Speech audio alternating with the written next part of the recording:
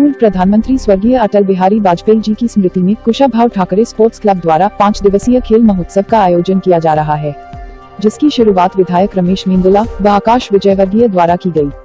खेलों को बढ़ावा देने के उद्देश्य से कुशाभाव ठाकरे स्पोर्ट्स क्लब द्वारा अटल खेल महोत्सव पिछले दो वर्षों से आयोजित किया जा रहा है, जिसमें आगामी पाँच दिनों तक पाँच हज़ार बच्चे विभिन्न खेल स्पर्धा में शामिल होंगे इस आयोजन में 500 टीमों द्वारा हिस्सा लिया जा रहा है जो प्रदेश के अलग अलग क्षेत्रों से इंदौर पहुँची है। ये इतना अच्छा ग्राउंड है।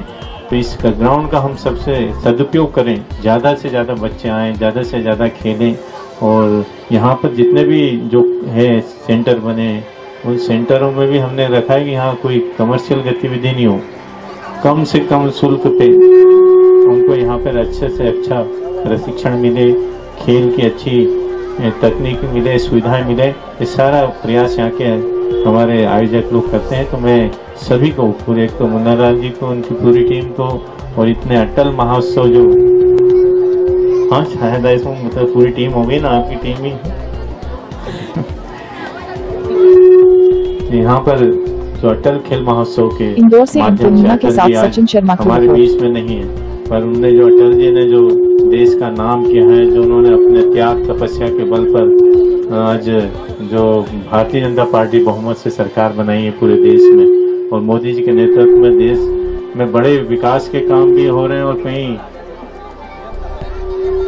कई विकास के काम भी हुए और कई ऐसी जो समस्याएँ थी उनका निराकरण भी किया। जो सालों से, हज़ारों साल से जैसे राम मंदिर नहीं बना था तो राम मंदिर बनाने का काम 370 हटाने का काम, अभी ये केब लाने का काम, इतने बड़े बड़े काम किए हैं जो सरकार नहीं कर पाई। आज तक सत्तर साल से जो सरकार नहीं कर पाई वो काम मोदी जी ने किया और वो अटल बिहारी वाजपेयी के, के सानिध्य में रहकर मोदी जी अमित शाह ने जो अपने अपने अपने को तराशा है तो उनके माध्यम से ये सारे काम हुए।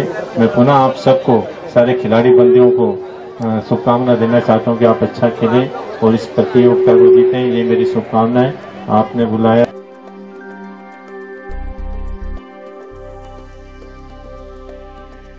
स्वर्गीय जो हमारे पूर्व प्रधानमंत्री थे और भारत रत्न अटल बिहारी वाजपेयी जी की स्मृति में सेवेंटी एट स्थित विजयनगर में अटल खेल परिसर बना। यहाँ पे अटल खेल महोत्सव का आयोजन विगत दो वर्षों से किया जा रहा है। यह आयोजन भारतीय जनता पार्टी के राष्ट्रीय महासचिव कैलाश विजयवर्गीय जी, लोकप्रिय विधायक रमेश मेंदोला जी, विधायक आकाश विजयवर्गीय जी के नेतृत्व में होता है और वरिष्ठ पार्षद मुन्ना लाल यादव जी इसके संरक्षक रहते हैं।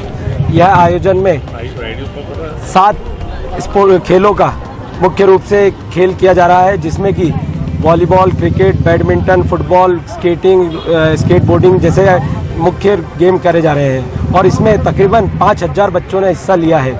और ये सभी ने आज मार्च पास्ट करके सभी अतिथियों का स्वागत करा उनको परेड में सलामी दी और उसके साथ ही यहाँ से एक पैदल मार्च सभी लोगों को जागरूकता मार्च निकाला गया। कितनी टीमें आई है? इसमें तकरीबन 500 टीमों ने हिस्सा लिया है, जो कि इंदौर और बैतूल, देवास, खंडवा, उज्जैन, भोपाल सभी जगहों से पूरे मध्य प्रदेश से यहाँ पे टीमें उपस्थित हुई हैं।